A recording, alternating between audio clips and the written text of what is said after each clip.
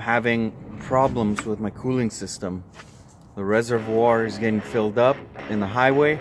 City driving, it goes back down. When I shut it off, it goes back even lower. And then when I want to restart it, it's below the sensor level. And then it doesn't want to uh, restart um, because it senses that the coolant is low.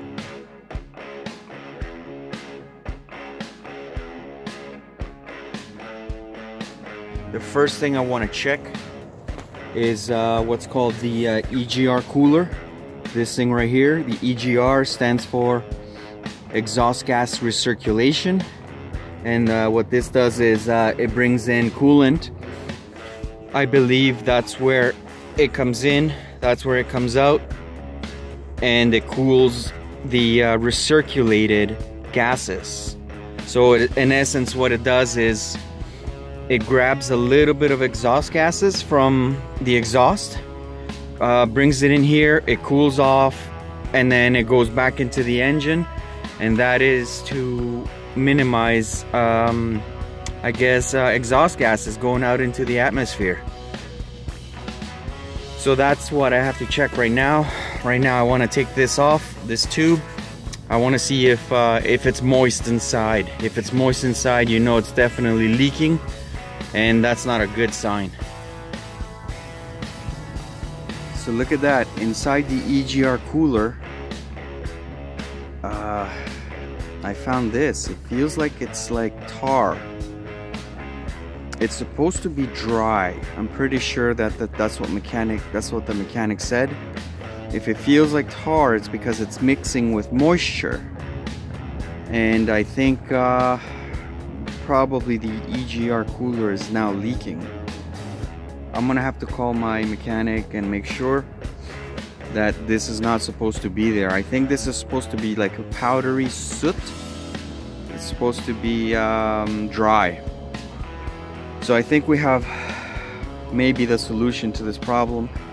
What's happening is that exhaust gases is coming into the uh, cooling system and it's pressurizing the cooling system. And that's um, and that's not good.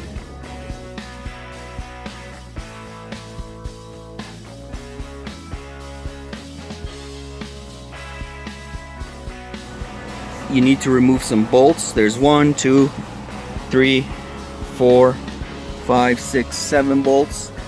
I thought there was one up here uh, but there aren't any to my luck. And that was um, just enough to get this cover to the side and reveal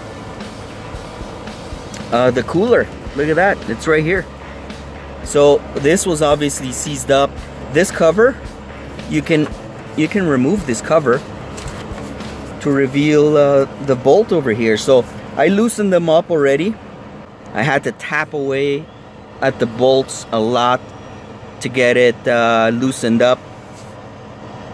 Uh, obviously, if you have an, an impact gun, it's even better, or those air wrenches, that's even easier. But I don't have any air wrenches. I had to resort to so, some uh, manual tools here. And uh, actually from all the tapping, look, I broke the little lever. There's another bolt back here. I guess that's where the, um, the coolant goes. These are loose already the other one's loose I'm ready uh, for the EGR coolers.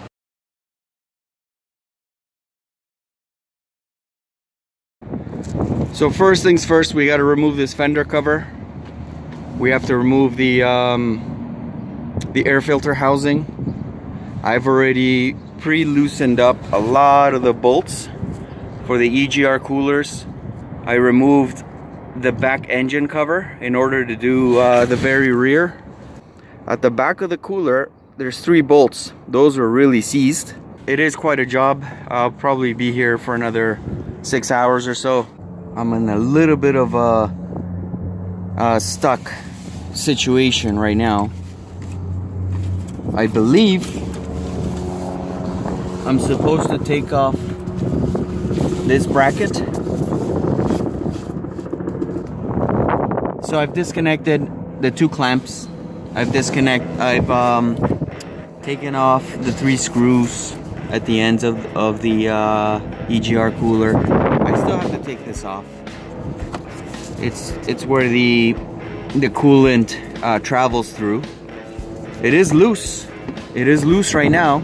So right now I'm just gonna take this off. I'm gonna try and uh, pry it off. I uh, hopefully I don't need to take this bracket off, but um, these clamps look like uh, they are they do bend. So they they, they will uh, let they will let the EGR cooler come up.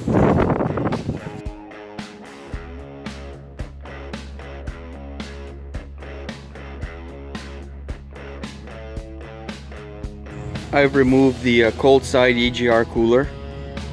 And uh, this was the easy side in my opinion that side there was very difficult especially those three bolts over there. Those three bolts uh, to line them up with the exhaust pipe again it's, it's it's a little hard. The bracket on that side was very rusted.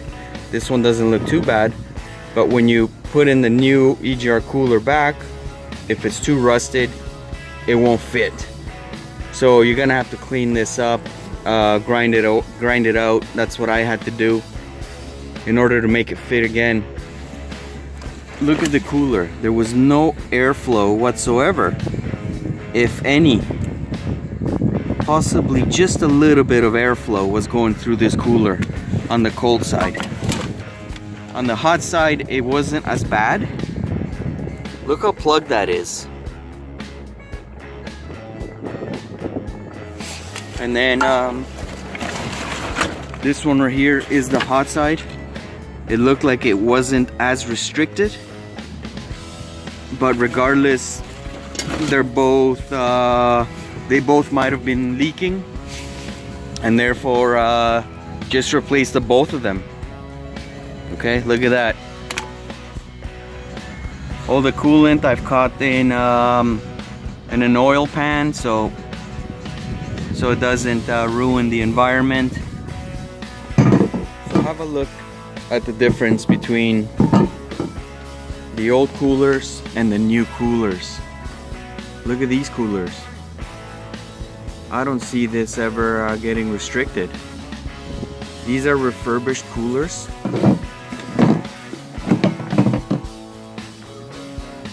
And it, they don't have the fins inside. They just have large openings and it goes right through. It looks well, um, well constructed. Looks nicely welded. And I don't I don't see this thing ever uh, ever being an issue again